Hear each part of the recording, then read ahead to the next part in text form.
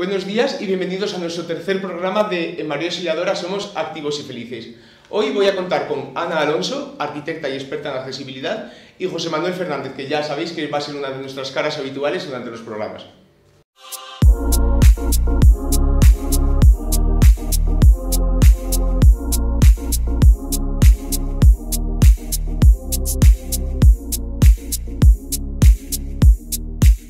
Ana, cuéntanos, ¿hace cuánto tiempo que eres miembro de nuestra asociación Activos y Felices? Pues yo creo que ya irá para cuatro años, porque con los dos que hemos perdido de la pandemia parece que es menos, pero más. ¿Y cuáles han sido tus logros desde que ingresaste en nuestra asociación? Pues yo creo que poco a poco he ido acaparando más y más y más, porque empecé siendo, pues yendo de vez en cuando a la asociación y ahora ya pertenezco a la junta directiva. Y en el programa anterior, José Manuel nos lanzó una pequeña pildorita sobre un programa que teníais preparado sobre domótica y accesibilidad. Sí. Tú como arquitecta, describe un poquito más ese programa. Es un programa muy interesante que vamos a comenzar en breve. Dentro de unos días vamos a hacer eh, las cuatro primeras viviendas como programa piloto del piloto. Y es un proyecto que tiene tres fases.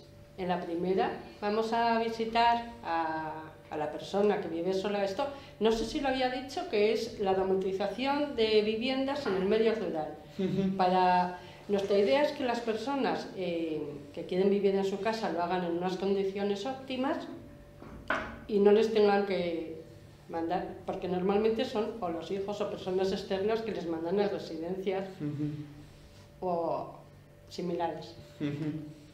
Entonces, eh, primero vamos Belén, va a ir José Manuel también, uh -huh. y voy a ir yo a visitar a la persona y ver en qué condiciones vive. Yo, como eh, voy viendo la casa, a ver cómo está y a quitar todos los obstáculos y todas las cosas, sin obras, aunque después pueda hacer el informe y decirles, aconsejarles lo que puedan hacer. Y mientras tanto, Belén hace, se toma el cafetín con él o con ella, José Manuel también, vamos, y hacen un informe de las rutinas que tiene la persona, porque así sabemos dónde es necesario colocar los sensores. Claro. Por ejemplo, se lo contaba antes a José Manuel, eh, ponemos un sensor de presencia en, en, la cama para ver si la persona se ha levantado o le pasa como a un usuario de Parkinson el, el, hace poco, que estuvo 12 horas rígido en la cama que no se podía mover. Entonces, con este estudio de rutinas podríamos saber si, si la persona se levanta a la hora que normalmente lo hace. Claro, porque es lo que yo pude hablar con José Manuel en el programa anterior. Llega un momento que el egoísmo social hace que, que desplacemos a nuestros mayores que los jóvenes hagamos, por así decirlo, nuestra vida, dejemos a las personas mayores aparcadas y no nos damos cuenta que nosotros hoy somos lo que somos gracias a ellos. José Manuel, muchísimas gracias por tu opinión del otro día. ¿Y tú, ¿Y tú cómo pretendes que las juventudes adopten este, este nuevo método de vida para sus mayores? Hombre, evidentemente es muy difícil eh, dar lo teórico, ¿no? Porque todas las cosas eh, teóricas no dejan de ser eso, teóricas. Y la persona con la que estás hablando o las personas con las que estás hablando pueden pensar de, bueno, esto, esto sí, vale, pero como decía, hasta que no lo sufres, hasta que no te toca. Entonces es un planteamiento de mmm, no tanto el por qué se ha llegado a esa circunstancia, que puede ser por infinidad de factores, por infinidad de, de problemas, de circunstancias, sino el cómo se siente la persona cuando eh, le toca vivir esa soledad y esa soledad que, que, que, no es deseada, es decir, que, que, hay mucha gente que sí, que lo que dices yo no quiero saber nada y entonces yo me largo, me encierro y punto. Pero otra cosa es cuando, y a eso prácticamente la propia naturaleza humana lo rechaza, cuando algo te, te lo impone. Entonces, el empatizar con esa persona, el decirle, vamos a ver, yo te entiendo, porque no es que tú me lo cuentes, es que lo que me cuentas yo lo estoy viviendo igual que tú. Ah, sí, entonces ya surge en el ¿y qué haces cuando? ¿y cómo te sientes cuando? Es decir, el, el procurar esa cercanía. Entonces, cuando procuras esa cercanía, pues prácticamente el 80% del camino lo tienes andado, porque es más fácil, es más fácil. Sobre todo en, en ámbitos rurales que tenemos todavía, pues eh, conservamos, no en ámbitos rurales, en ámbitos rurales en la ciudad, esas costumbres de, no, no, yo no quiero que venga nadie, no, yo no quiero saber nada, no. Es decir, eh, a veces somos nosotros los culpables de. No es que se nos arrincone o se nos cierre, sino que somos nosotros los que voluntariamente vamos dando pasos hacia atrás. Y tú, Ana, como arquitecta, ¿qué, ¿qué, pildorita de educación lanzarías a nuestros televidentes de las barreras arquitectónicas que puede tener una persona mayor en su casa y que para nosotros pueden ser invisibles porque no las sufrimos? Pues mira, la, la accesibilidad primero es, es, es un derecho bueno, y cada uno tiene que estar cómodo en su casa y no tener 50.000 obstáculos. Dice, no, no, este jardincitos que me lo trajo mi hijo de la luna de miel cuando fue a Turquía. Pues no tienes que sopesar si está en el sitio adecuado y si realmente merece la pena tenerlo ahí donde se tropieza todos los días. me señala la, las alfombras, esos son un peligro real que, o sea, alfombras fuera de casa. Y si es necesario, porque es un, vamos, por, el motivo que sea, o, las pegas o le pones una malla de estas de, de plástico debajo que se queda, ya no, ya no te desbalas con ella. Aunque te puedes tropezar porque las esquinas son muy traicioneras, ¿eh? Sí. Y bueno, en una casa hay 50.000 cosas, desde la ubicación de la cama para que no te deslumbre, por ejemplo, si tienes la, la ventana enfrente, hasta tener cerca eh, un teléfono inalámbrico o poder darle a la luz y no tener que levantarse. Están muy bien las luces los de presencia, las que se van iluminando sin más, por, para, para momentos puntuales, por ejemplo, cuando te levantas por la noche al baño, que a los mayores les pasa mucho, y eso, pues hay más detallitos que se pueden ir haciendo.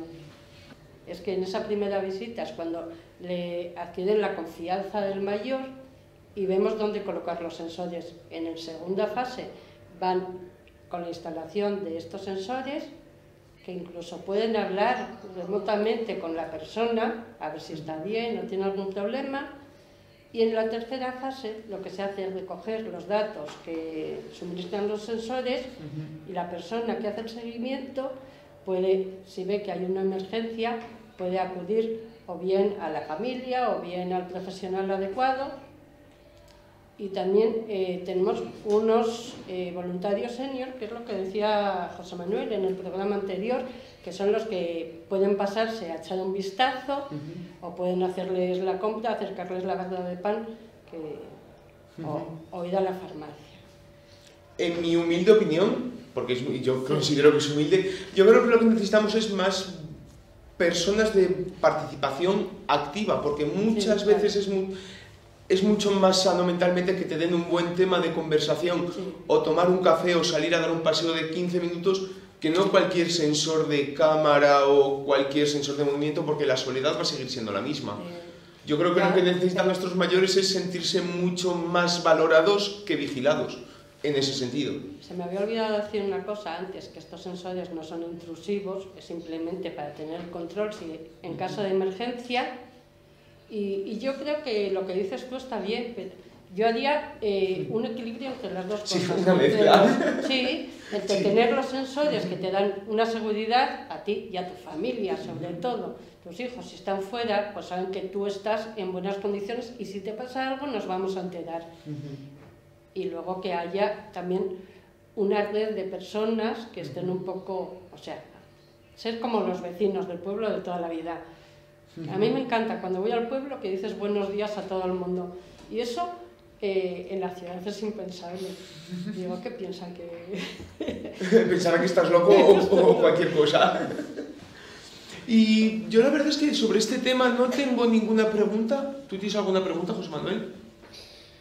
Hombre, las preguntas eh, las irán haciendo, lógicamente, Sí. los, los usuarios a medida que se les eh, vaya entrevistando, por, por decirlo de alguna manera, o hablando con ellos, ¿no?